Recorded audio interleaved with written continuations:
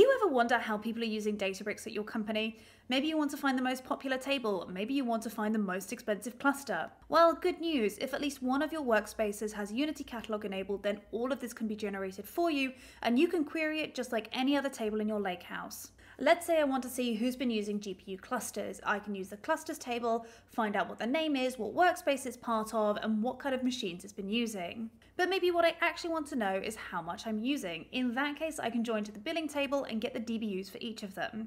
But actually, maybe what I want is to know how much money I'm spending. In that case, I can join to the pricing table, map the SKU, and get the total amount. Now, I've just used three tables here, but there are 11 in total.